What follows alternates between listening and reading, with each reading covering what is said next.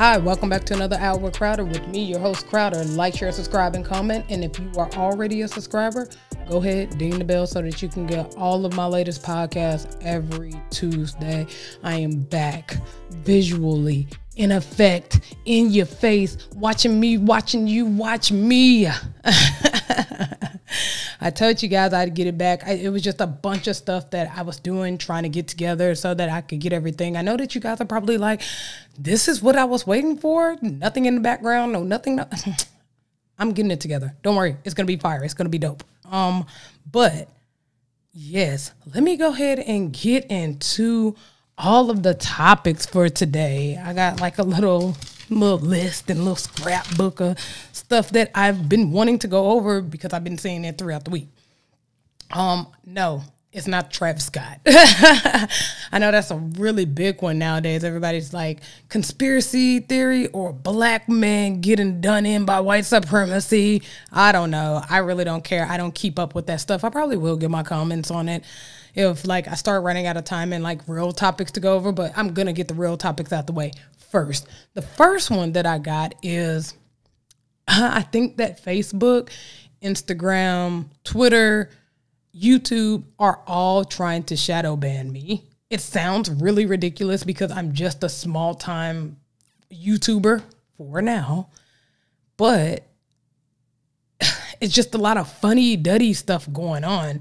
Like just the other day, I couldn't post on my on my um podcast page on Facebook, not my um personal page, but the podcast where I run the podcast from and put the clips and the videos and everything.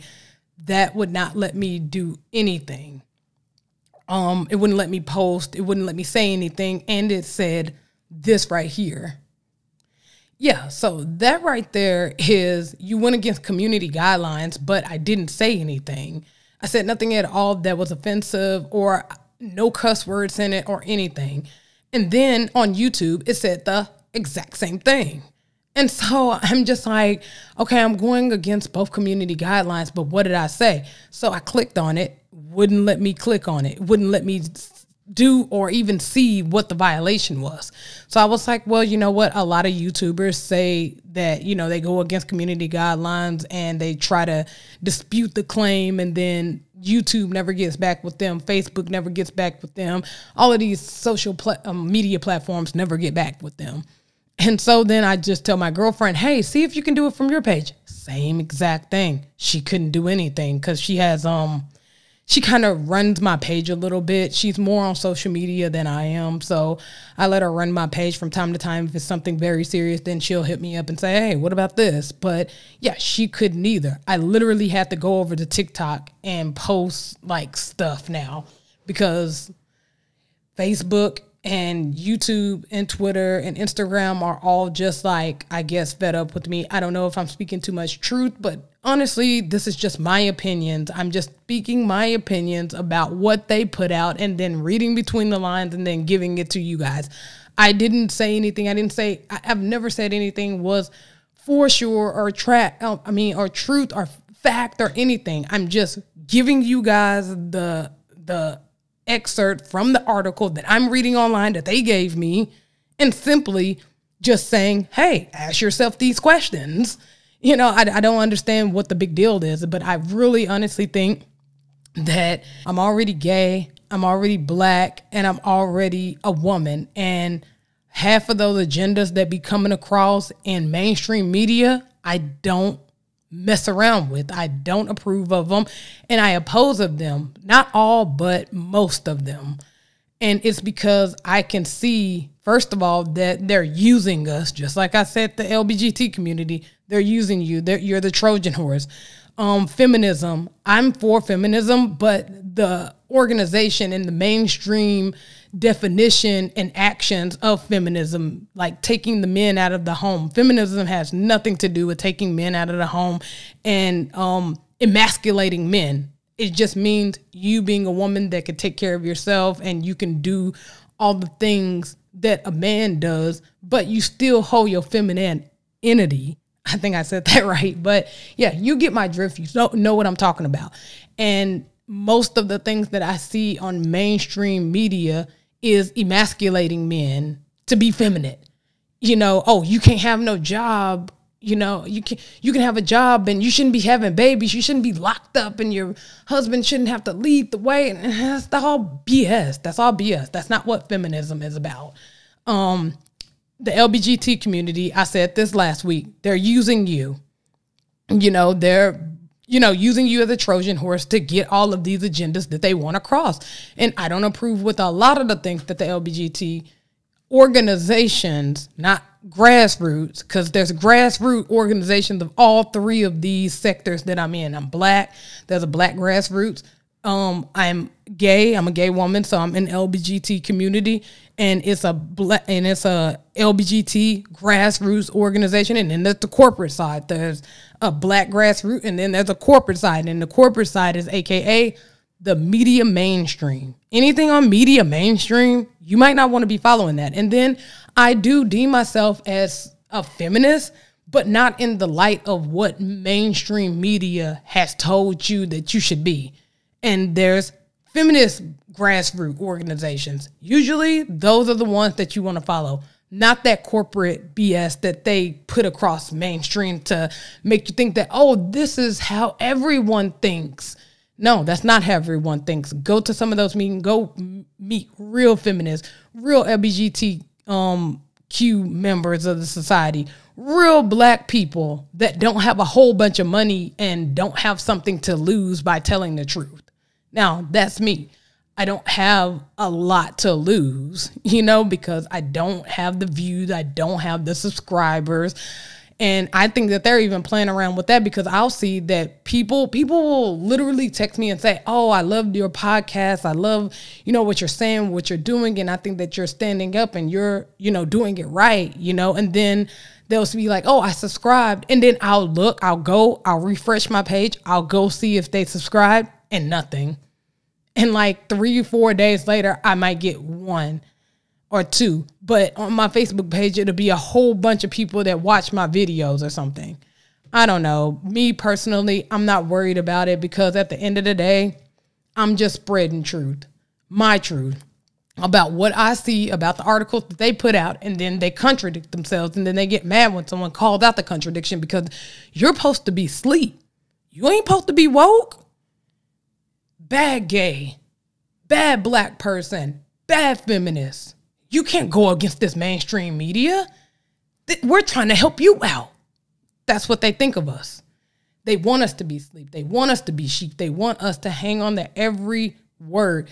And people are picking up the fact that, especially during the whole, you know, CV thing, CV pen pandemic, you know, whatever. I'm not going to say those words because also one of my videos got taken down because I mentioned the CV, you know. So, you know, all these small YouTubers try to be as careful as possible with words and sentences and things that you say because they will take your video down, but it's cool. I got it, you know if you did miss that episode, it is on Anchor, Spotify, Google Play, and well, I guess not YouTube anymore. But yeah, you could also catch my full episodes on um, Facebook, an hour with Crowder as well. So yeah, it's just getting to the point where it's like they understand which they are mainstream media, elites, Illuminati, whatever you want to call them. They are figuring out that the average Joe Schmo, working class people, people that are really getting it out the mud, people that are grassroots organizations, are figuring out that mainstream media isn't telling the truth. And to get the truth, you have to go to someone that doesn't have anything to lose. Because those anchors at those mainstream medias and those news anchors and everything, they have things to lose. They're making this amount of money. They have a script, everything scripted. I mean, you can go and watch, you know, a clip of, you know, them all saying the same thing the same way. That's someone orchestrating that.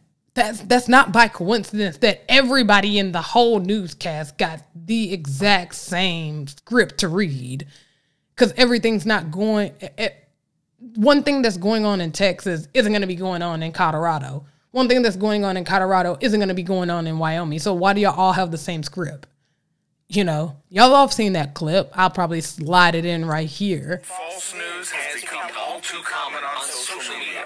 More alarming,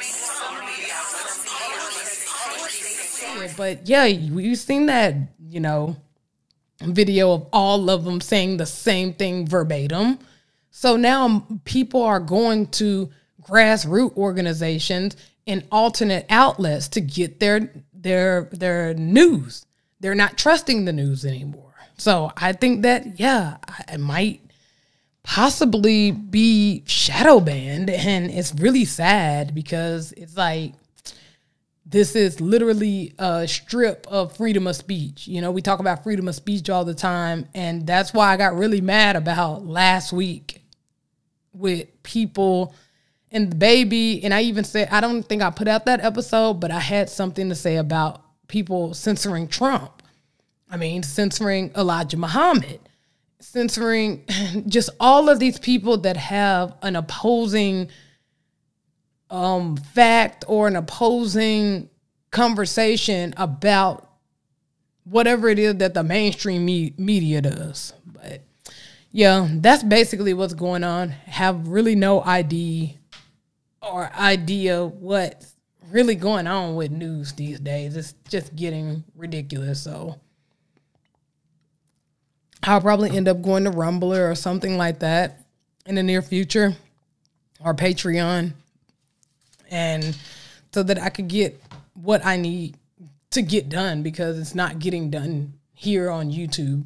You know, I'll probably even set up like a website so that people can go and listen, you know, free, like free, you know, everything's for free, but I'll probably go and set up something like that online because yeah, it's getting ridiculous here on YouTube and you pretty much can't curse.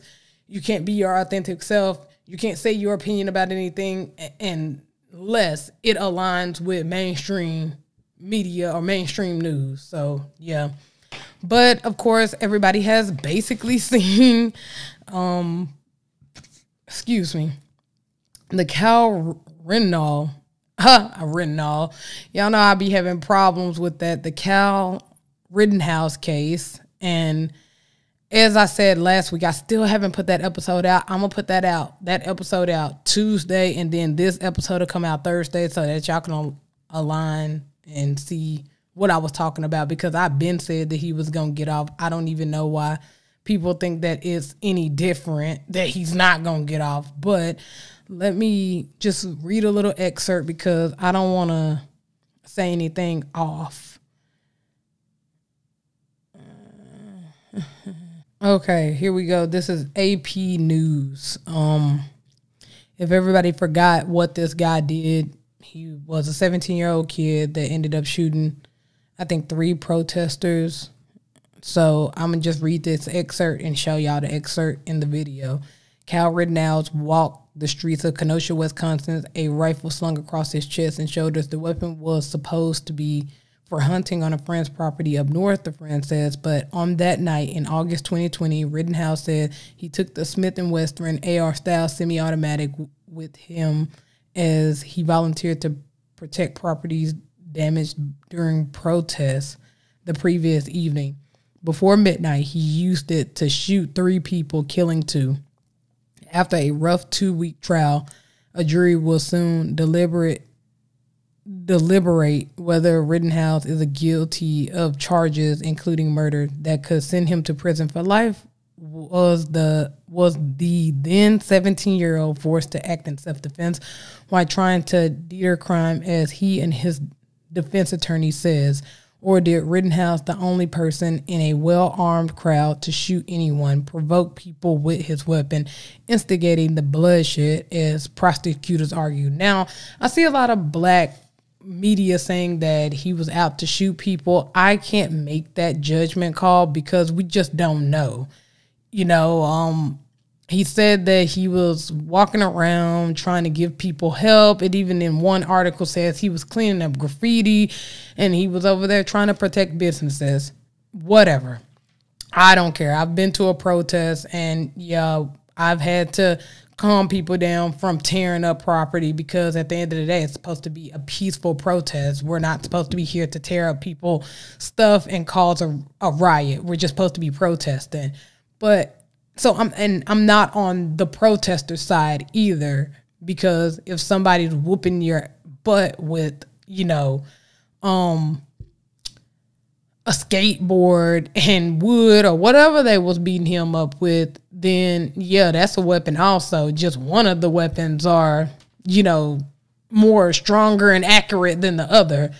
But I do want to chime in on civil arrest because this is actually what he was doing. Cal Rittenhouse was making a civil arrest, basically citizens protecting their space.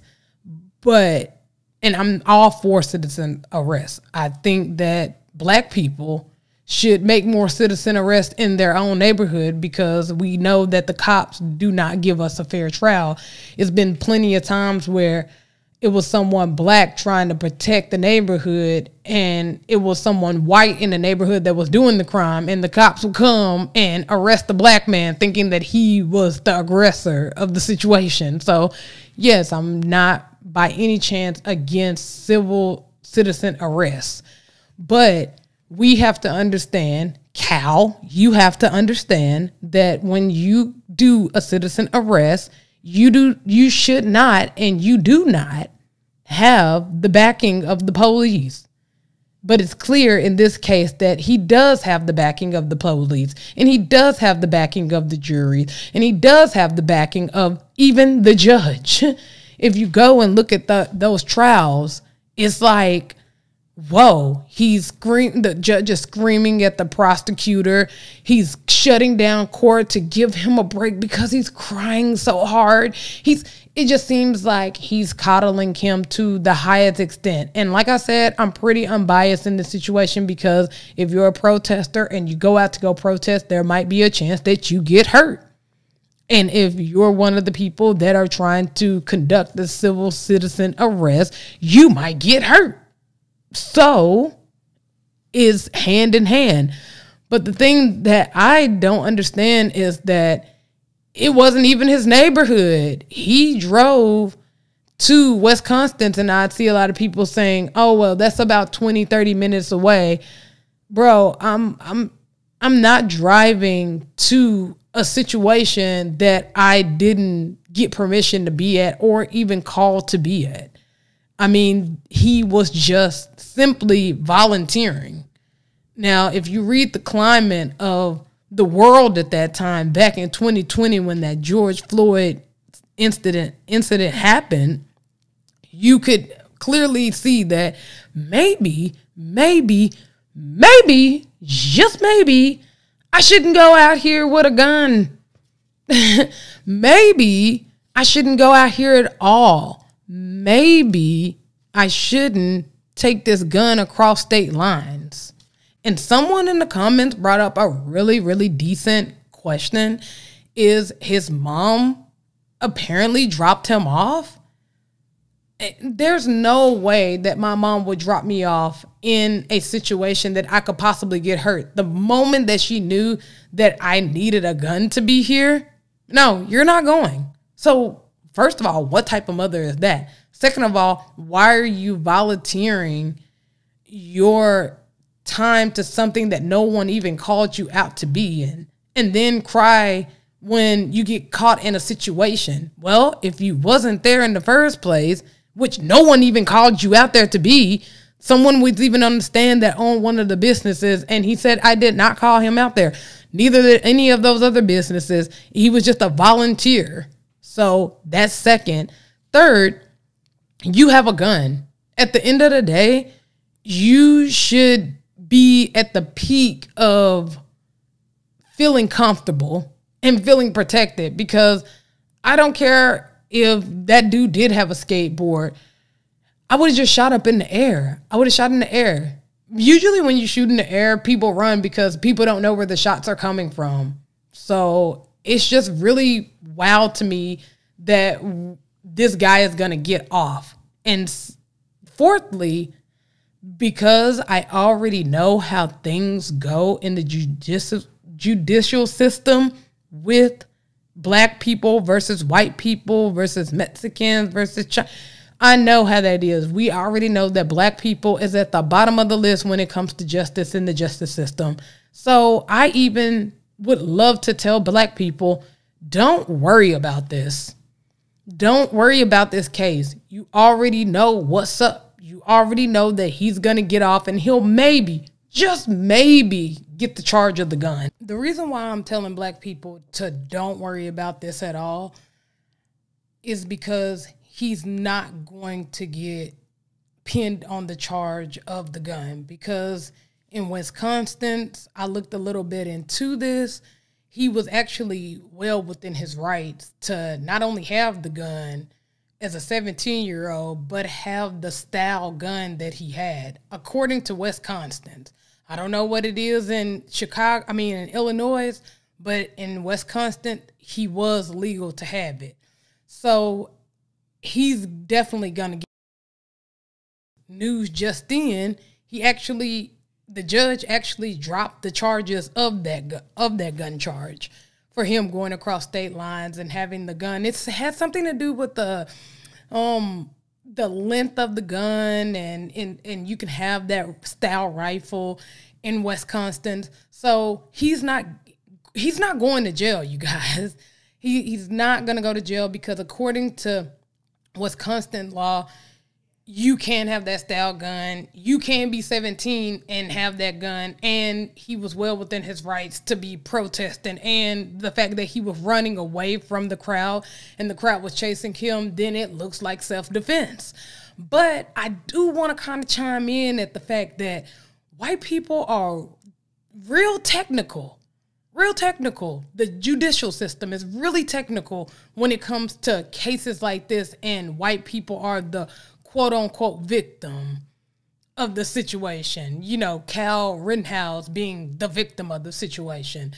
But you see other cases like um, the New York Five, where they didn't even have parents present to be questioned by cops and then it's just like, oh well, you know, I don't really know. You know, we did kind of do that, but we kind of and start stuttering and all this shit. They get the point is they just get really sloppy when it's black people involved in cases like this, and real technical and real law abiding when it's white people that get caught up in this type of thing. And let me just clarify something: black people aren't mad that Cal Rittenhouse is going to get off. They're mad because if it was a black person, this would have never flew. This would have been one of those sloppy cases that we would have been hearing about on Netflix five years from now. You know, just like the New York Five and the Andrew, uh, I think what is his name, the Broader case, when they found out that he was actually innocent in so many other cases where black people that was actually following the law is put in jail, you know, not doing the crime at all. So that's what we really mad about. And then there's dusty white people that want to argue this point. We keep trying to tell these dusty white people, and I call them the dusty whites because white people that understand how systematic racism is set up in place so that the black people never rises, they understand to a certain extent. And they're willing to help us with all these little causes and be our allies and all that stuff. I'm not impressed, whatever. But it's the dusty whites that look at, you know, Fox News and you know, have these talking points. Just like I brought up the one case of the Chicago Five or the Central Park Five. That's what it is, Central Park Five. Even though all the evidence goes against that they raped the woman and that they didn't do it, it was still just a sloppy case, and dusty white people will still be like, well, you know, they shouldn't have been in the park that late. Where was their mother at? What was this at? What was that at? And then when you come to this case, Cal Rittenhouse, and I know that it's not the same case or even similar, I'm just bringing up a point that white people are technical when it comes to their kind and very sloppy when it comes to ours, and they have all these little talking points that they want to go across. But then, like, back to my point, then you'll get the Cal Rittenhouse case and they'll bring up the laws of the gun, the laws of this, the laws of that. Oh, he can do this, he can do that. But you know damn well you will be asking dusty white person that's defending this type of behavior and not seeing it from the point of view of a black person if it was a black child you would not have those same talking points you wouldn't i know for a fact that you wouldn't and Furthermore, I just want to bring up the fact that the mother, that that was a crazy thing. I still can't believe that she brought her child into a situation where they needed a gun. And it's just ridiculous. So I just want to let black people know, and myself included, because I got real tied up into the case for sure, because you know, it's white people and black people out there protesting for a cause that we all think is a good cause. For one second in the whole world everybody agreed that the police did somebody wrong. Everybody seen this cop do it. It was on video. He did it for way too long. Everybody was like okay this is wrong. There's no talking point that you can go off on because there's nothing that you can say to justify someone putting their knee on someone's neck for over five minutes. So, and then it just got back to the point where it was all these racial court trials, you know. Ahmaud Arbery is one of them that happened after that. I think before that, a little a little while ago, before the George Floyd, it was um, oh, what is his name? Uh, they we just got a street named after him. I forget. I, and that's really sad that I've forgotten people, black people that have died because it's been so many of them within the last three years. But I mean, Breonna Taylor, um, you the list goes on and on and on. So my thing that I want white people, but especially the dusty whites, is ask yourself, I want you to have a killing, uh, to kill a mockingbird moment. I think everybody's read that book. I think you read it in like the sixth grade, where he tells the whole jury the the um story or the situation that happened, and then he tells them everything that you know they urinated on her, they spit on her, they dragged her behind their Ford truck and they was drinking and they was drunk. And then he says now close your eyes. And she was black. And it was like the pin drop. And i think that's what white america especially the dusty whites need to do. Start to ask yourself would i have the same feeling about this if the kid was black? So that's my wrap up of that don't worry about this. We got way too much other stuff to be worried about because we already know how the judicial judicial system does us. I don't know why I'm having so much trouble with that word today, but we already know how that system does us and the most that we can do is just breathe and step back away from that because honestly, I do think that it's just going to bring up a lot of racial tension which not trying to be mean, but wasn't no black people that got killed. So for once, you know, for once. But um back into this Ahmaud Arbery case, it's creeping up on us. Um, they're already in the trial dates. Everything is already happening. I think that they're on trial. But if you forgot, like I forgot, and many black people forget because so many of us just get killed throughout the year and it get, you know, publicized in the news and we just you know so many so so much overload of us dying you know? So if you did forget about the Ahmaud Arbery case okay mr Ahmaud Arbery a 25 year old black man was chased by an armed white resident of a south georgia neighborhood. They are now facing trial on murder charges Atlanta, three white Georgia men stand accused of murdering Ahmaud Arbery, a 25 year old unarmed black man, after suspecting him of committing a series of black break ins. And I said black ins. See that? Uh, man. Commit, committing a series of break ins in their neighborhood outside the coastal city of Brunswick, in South Carolina, opening statements in the trial of the three men Gregory McMichael, 67, his 35 year old son, Travis McMichael, and their neighbor, William Bryans, 52, are expected to begin on Friday. It will be one of the most closely watched trials with civil rights overtone in the United States since the April murder conviction of Derek Chauvin, the former Minneapolis police officer who was captured in a bystander video kneeling on the neck of another unarmed black man, George Floyd, for roughly nine minutes. The video of that incident created an international uproar and raised serious questions about the treatment of minorities at the hand of police. That was a little, oh, let me just um say just this one last one. The slaying of Mr. Arbery was also captured on a videotape that was widely viewed by the public, and the trial of his accused killers will also bring up issues of policing, although in this case it will involve questions about private citizens and their right to detain people who they believe to be breaking in. So catch that right there. They said to believe that they be breaking in, and he thought that it was the person that had been doing break ins lately. Now,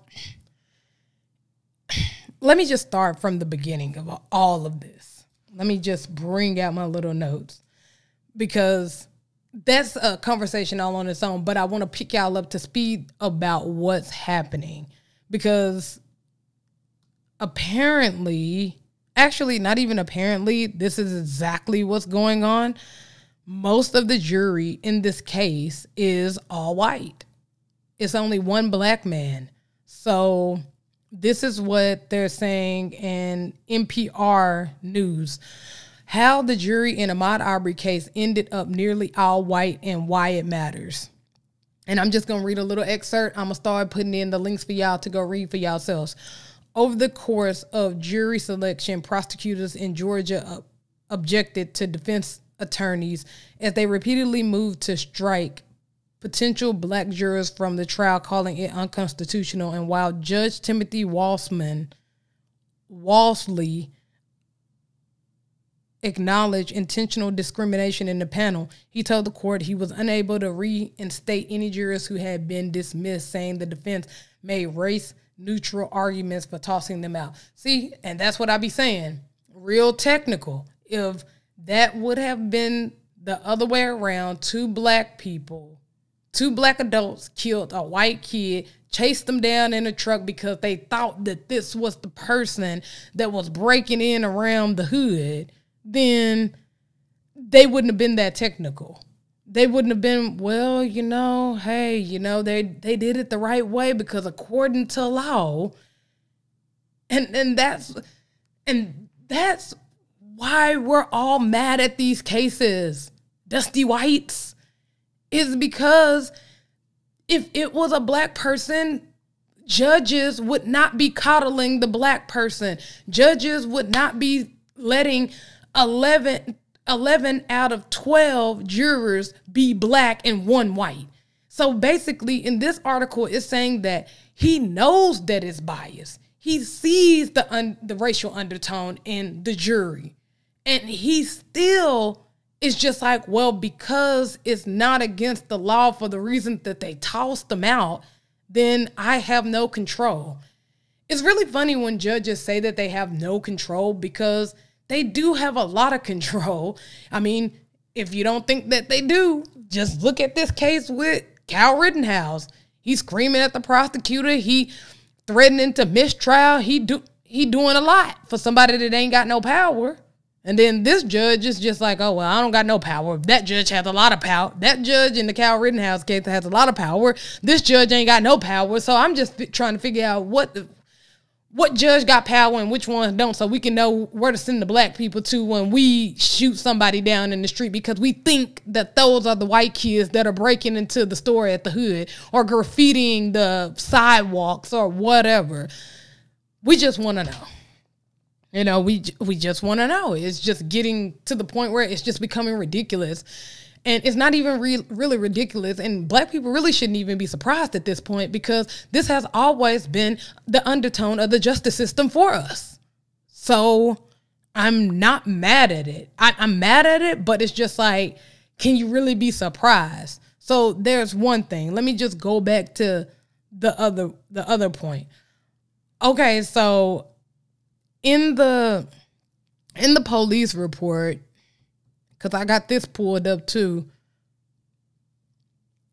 Upon my arrival, I observed Officer Minshaw, 184, setting up a perimeter. I began speaking with Gregory McMichael, who was a witness to the incident. McMichael stated there had been several break ins in the neighborhood, and further, the suspect was caught on surveillance. McMichael stated he was in his front yard and saw the suspect from the break in hauling ass down the Satilla Drive towards Burford Drive. McMichael stated he then ran inside his house and called to Travis McMichael and said, Travis, the guy is running down the street. Let's go. McMichael stated he went to his bedroom and grabbed his 357 Magnum and Travis grabbed his shotgun because they didn't know if the man was armed or not. Okay, right there. Why do you need two guns to chase down to chase down one person? And let's just let's just put it back into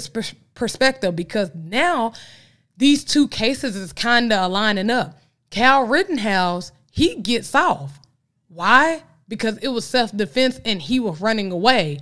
But then this is just clearly just a, and this is what they're gonna try to say in court, y'all. This was a citizen arrest because we caught him on camera inside of this basic a, a frame of a house. It wasn't even built yet. It wasn't anything. I love how they just keep acting like it was a, a house. This was a empty frame of a house. They was building the house. So it was nothing in there, no tools, no furniture, no win- the windows wasn't even put up yet. But Kyle Rittenhouse, he can run away, shoot somebody, and claim that it's self defense. And the judge throws out the gun charge. He um, coddles him in court. He says that, hey, this is self defense, and he was within his rights in Wisconsin as a 17 year old with a um, military style gun. And then you get to this case, the Ahmaud Arbery case, and Ahmaud Arbery was running away from these two people. I thought that if a suspect is running away, then you're not supposed to shoot them. And actually, if you go look at the video, once they caught up to him, Ahmaud Arbery and Gregory McMichael got into a scuffle. Now, can we say that that's self defense? That he was defending himself? because these two random white people ran up on him with a 357 Magnum and a shotgun. But the but the courts is, not going to say that. They're going to let these two people get off because why? It was a civil arrest. That's what they're going to say. Let's look into some more history into Gregory McMichael. I just read y'all the police file. Like I said, I have it in the link. Now, if you go to the police file, and this is from alive 11alive.com. Now, he was a cop from November 1995 up until May 31st, 2011, when he retired for um, Glynn County. And in his police report, let me see if I can find it. In his police report, well, his evaluation, excuse me, his evaluation. I'm just going to read a little excerpt from his performance evaluation. In one signed January 1983 a comment under employee strength in the overall eva- evaluation says McMichael has the desire to become a good cop off good police officer and with the proper training and experience will become a valuable access to this department. There are similar comments on the evaluation documents from his earlier years as a cop, noting that with time, more experience, and more training, McMichael would do a good job. See, that part is where I got a problem with because it always just seems like when white people get in trouble, they bring up their third grade pictures of them picking apples in the garden and you know, they they volunteered at the homeless shelter and they're just such a good person, but then when this whole trial thing was going on and it was in the news, what did they show of Ahmaud Arbery? That he was a um previous um criminal for stealing, you know, and all of that stuff. They always bring the the bad things up or the criminal records or any dirt that black people got on them when we get wrongfully shot or we're not armed and we get shot by white people or cops or even another race. But then when they know that white people are in the wrong, they'll bring up all the good things. It's it's basically low grade propaganda, you know? So that's what's happening here. They're bringing up his employee strengths and saying that he would be a good cop, cop with more time and more training. And this was like in the beginning before he even got up on the the um the force or whatever like that. I don't know what he was doing because this say 1984, but it say that he was oh, I think that he's been a cop for a little while and he just started working for Glynn County. So he was a cop somewhere else, and that's what they said. And then he went to Glynn County. Okay, so now I got it. And then, but I want y'all to peep this right here. In a performance evaluation report signed in 19 in in January 1984, there's a comment under oral communication that he finds it hard sometimes to listen while in a group when there are several people talking. Okay, don't y'all think that that's kind of dangerous?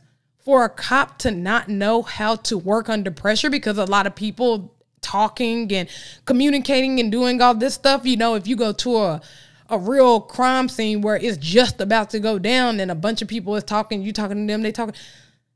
It's dire for police officers to have good communication skills. I want my cop, my police officer that comes to a crime to have good communication skills.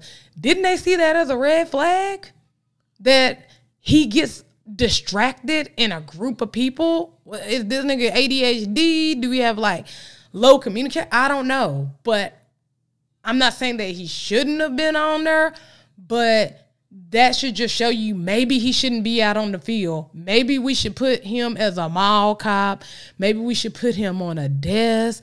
Maybe he shouldn't be out there. But this incident that happened happened after he retired, and that's exactly how he acted. He acted like he was still a police officer, retired and all, and then brung his son in like he was his partner, partner in crime. Because that's exactly what this was. You shot somebody that was running away from you. And before the Dusty White started saying, well, he, they was doing a civil arrest, I, I don't know. It just kind of seems that now that the black person is in the space of running away from a crime and then defending himself when these two dusty white people come up on him with a gun, then oh, that's a civil arrest. But then when Kyle Rittenhouse does it, defending himself. So which one is it? It just always seems like anytime white people is under the fire, then it's a law in place for them. But when black people do it, then there's no law. It gets real sloppy, real sloppy like for for black people in the justice system and when we have to defend ourselves or we have to make it a civil arrest this is my only in i've gotten to the point where me as a black person and i've thought about this because i've gotten into arguments online with a lot of dusty white people that still think racism is white people whipping us with whips and we picking cotton. That is not racism. Racism, Real racism is control, control of a people without giving them resources that they can use on their own. That's real racism. Go read Powernomics by Claude Anderson. He'll tell you about how systematic racism have messed up the whole bloodline of black people. And it just makes me feel like at this point with these two cases that I as a black person cannot afford to see things colorblindly anymore because most of the time I do try to be biased. I mean, unbiased about situations like, well, was they following the law when it happened? Because I would like the judicial system to do that with black people. But time after time and after time again, we see that the judicial system, the school system, the healthcare system, the real estate system, every single system has been put in place to oppress black people and keep them in the slave class. They will let every other race of people rise. They will not let that happen with black people. And just like myself, a lot of black people is waking up to this. I used to be that colorblind person because, you know, I had white friends and I had black friends and we all hung out together. I had Mexican friends and Chinese friends and Arabic friends and you know, I never seen color with them. They never seen color with me. Um, you know, I always had a little money up on my paycheck. I always got the pats on the back for doing a good job. And, you know, in no other race of people were threatened by me. So I thought, oh, well, you know, it really can't be that bad. But these cases, and as once I grew up, once I got past the age of maybe 23, 24 is when I started being like, well, that ain't fair. Man, that ain't fair. But just recently, once Trump got elected, is when I really started paying attention to systematic racism, how they've created this whole system around oppressing black people, and how they've done it so strategically that they've even brainwashed white people to not see they BS. So then white people get mad at black people because they're like, nah, ain't no systematic racism going on. You just lazy. And then black people get mad at white people because they're like, no, you don't see it. And the reason you don't see it is because you're white. And that really is the answer is because they're white, because they put the system. I don't know if the system is Jewish people, white people, Mexican people. I just know that there is a class of elite people that have put certain races on a pedestal to oppress black people and keep us down low. And anytime we try to communicate to other races, because it ain't just white people that's racist towards black people. I've met some pretty um, um, racist Mexicans. The Hispanic um, race don't see that we're being systematically oppressed it's something about black people that they just want to keep down and I can't quite put my finger on it. But I recently read J. Edgar Hoover's FBI files about keeping the black messiah from rising. So that should tell you something. That it's something about black people that they don't want us to know about ourselves and they don't want any other race to know about us either. They want to keep this propaganda move of black people are lazy, black people are ghetto, black people, you know, only care about, you know, um, jewelry, cars, cl- clothes, and clubbing and partying, and that's why we at the bottom. That's why. So, really don't know what's going on. I would advise black people get off that Kyle Rittenhouse it's not worth your time. You know that he's going to get off. But look very closely at this Ahmaud Arbery. And I'm going to tell you right now, I'm telling you, they are going to say that this was a civil arrest. That's it. Um, let's get to the last conversation. Um, the new Dems. Who are they? What are they doing? Well, I'll tell you. Apparently, the new Dems are a group of Democrats that were already in the Democrat Party, representatives from the Democrat Party, and they are um, separating themselves from the Democrat Party, the original Democrat Party, because uh, they don't want to be identified with the whole protest and the wokeness and so on and so forth or whatever. I don't know. But I seen this very not only funny, but really just comical like clip from TD News. I get a lot of my stuff from there and I expound on it from there. And he showed this clip of like the new Democrats. So it's just like, I don't know. But I'm going to show it right here. Democrats have taken control of the House Representatives. A historic accomplishment for the Democrats. New Dems make the majority because we represent the majority. We listen.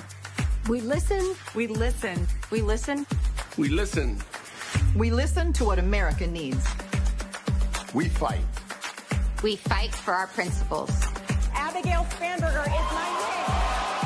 This is what democracy looks like. We just made history. We defend American values. We believe in an economy that works for everyone. Everyone getting a fair shot to earn a good life. We are pro growth,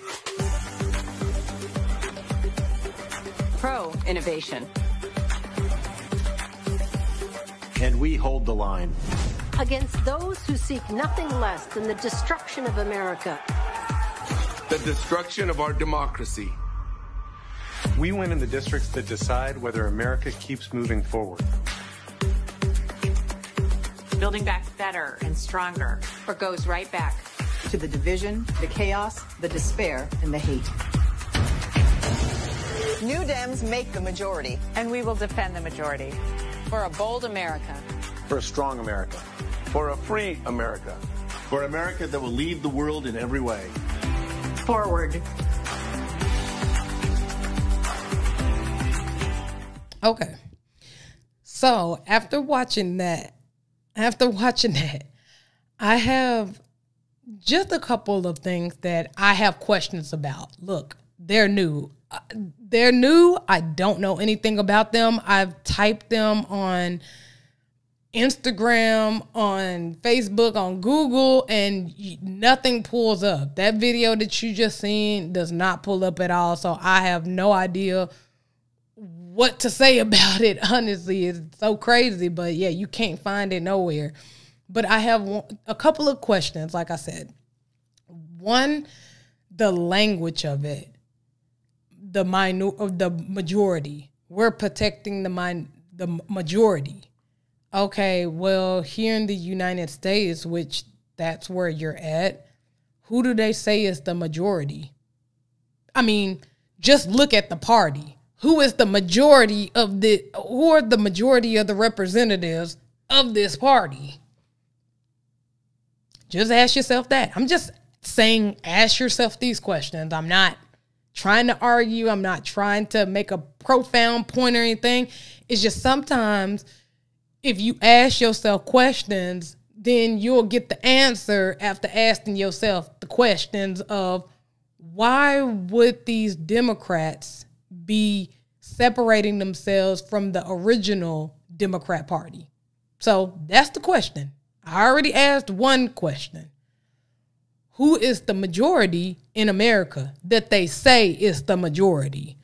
And then who is the minority? So if you're protecting the majority, who is that? Is that the majority that you've been helping this whole time, as in giving executive orders and, you know, giving money away to those certain set of people? Because don't get it twisted. Whenever these immigrants from other countries come in, they become white on the censor. So there's one question that I have to ask. The second question that I have to ask is out of the three, out of the, you know, set of people that's in there, we see the majority of them. So there's uh what looked like Mexican man, a really light skinned black person, which I'm not a color, I'm not a colorist. I'm, I'm black people are black people, and a Native American. I looked her up. Now, when you go and go look up all the bills, because don't get it twisted, they're not just a new party or nothing. They was already in the party and already representatives for a long time. And if you go and that's what I did, I went and looked up, you know, some of the bills that they wanted in place when since they've been in office. Well, for the Native American, she's apparently um LBGT and she's um native. And when I looked hers up, it was a bunch of Native American, you know, bills that she wanted to be passed, which is really funny because just recently, I think today, this will air Friday. So just today, as I'm getting, airing this, George Biden, I mean, George Biden, Joe Biden is signing an executive order for Native Americans for them to get, I think, $50 billion and a lot of resources, a lot of resources. So, and then you get one person, which is the Mexican kind of looking dude. He got a bunch of army stuff, a lot of things for vets. And don't get me wrong, I love my vet- veterans. Um, Veterans Day just passed, I think, a little while ago. And, you know, salute to anyone that has enough courage to go out there and go fight for, you know, my rights in this country. Thank you for serving in uh, in the um, field for us, you know. Um, and then you get the one lady. I think that her name is um, what's her name? What's her name? What's her name? Marilyn Strickland. She's the black person, the only black person on the um representative role for the New Dems. And it kind of looked like the bills that she wanted passed or was, you know, in alignment for or wanted to pass or whatever. It's just like a mixture of everybody's laws out of this new Dems, you know, party that they trying to create. But you know what I don't see? Nobody talking about reparations. I didn't see not one blackety black black black thing for black folks anywhere. If you're trying to separate yourself from the the old Democrat Party, because don't get it twisted, Democrats. Black people are not mad that you was for protesting and all of that stuff and being extra woke and wearing Kente cloths at the Congress and everything. Ain't that what they did last year? I don't know. We're not mad at that. We're mad because you gave every single race, organization, ethnicity, everybody either an executive order crime bill, an executive order protection bill, or money. All of those things should be black people that should be ours. So it's just very funny that they're trying to separate themselves like, no, we ain't the ones that didn't give you no money and no laws and no protection. That's them niggas over there. No, it was y'all. Y'all y'all was there too. Y'all was there too. and then you have to ask yourself one more question. Why would the new Dems want to separate themselves from the original Dems?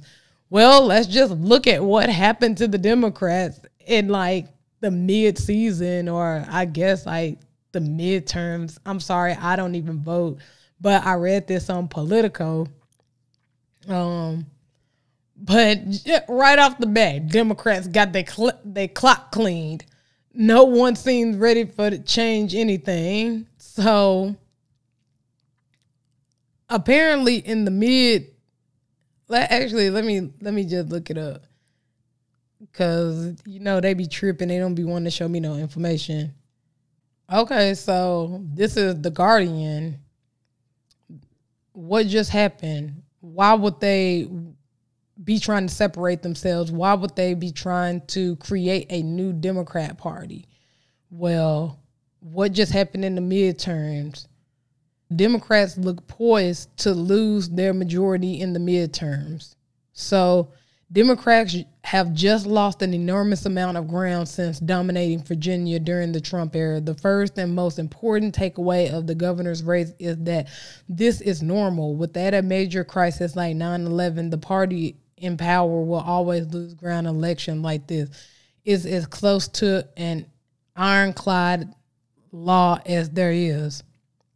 Beware of any take that blame the spec specter of critical race theory or mass mandate. Can you remember what specific niche issue animated Democrats in 2017 18 or Republican 2009 10 beyond a broad dislike of the president? So they're trying to basically cap for them, but they just won't come out and say that the Democrats just lost a major state, which is Virginia. That's where they got the most ground at in Virginia, and they just recently lost that. And then let's just go and see Joe Biden's popularity.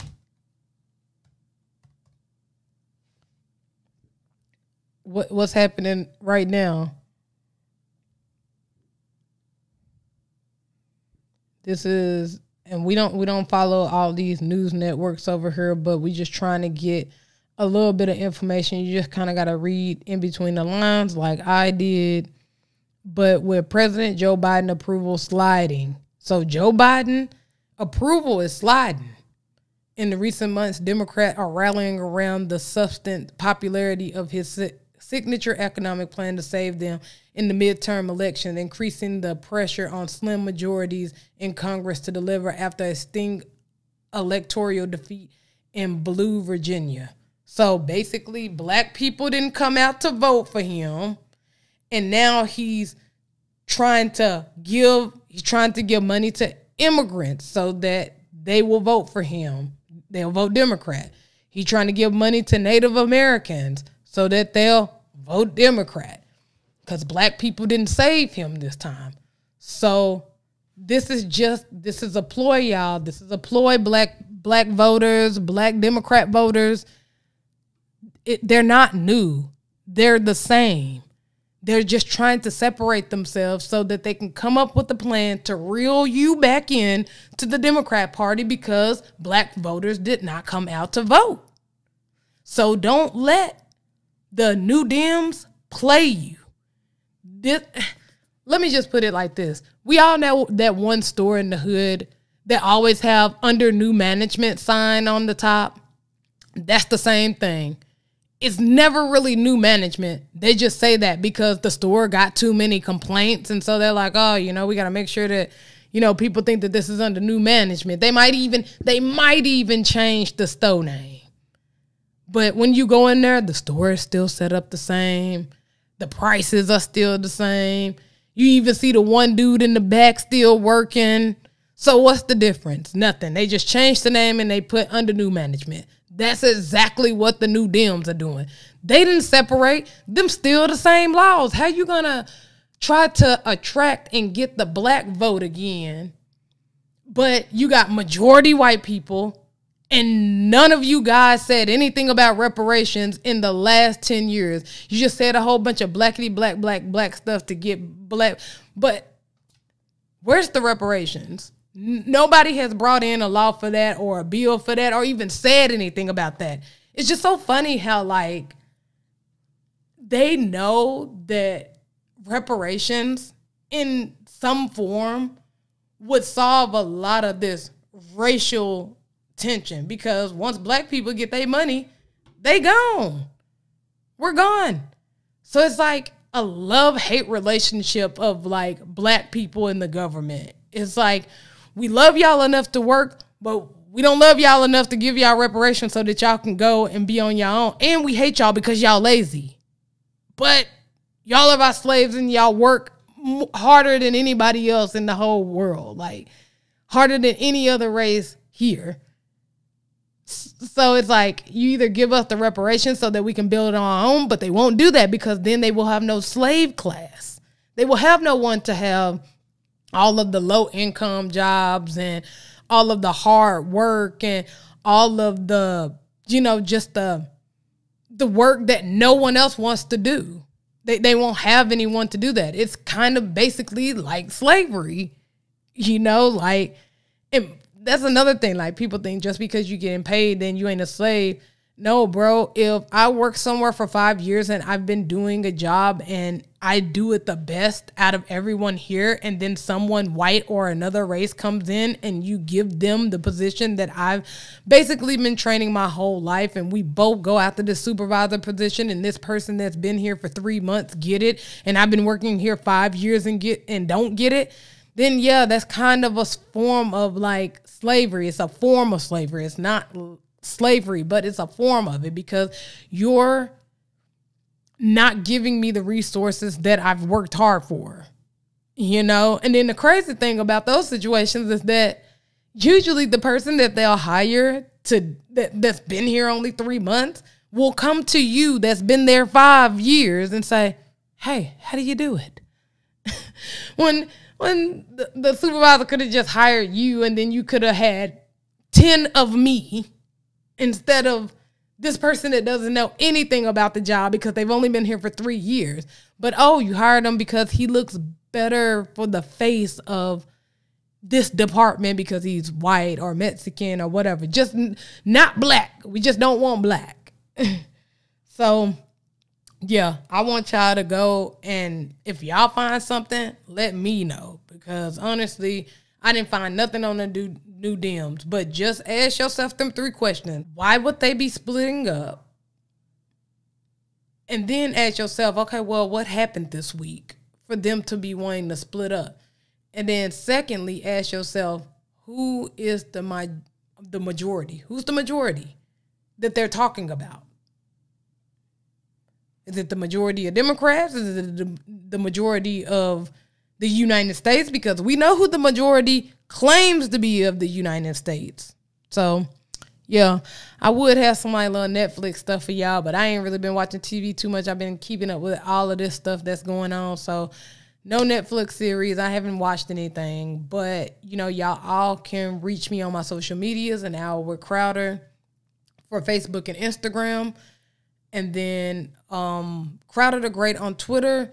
And you can catch this podcast on other streaming platforms such as Apple Podcasts, Google Play, Anchor, Spotify, and here, YouTube. So I'm out. Bye.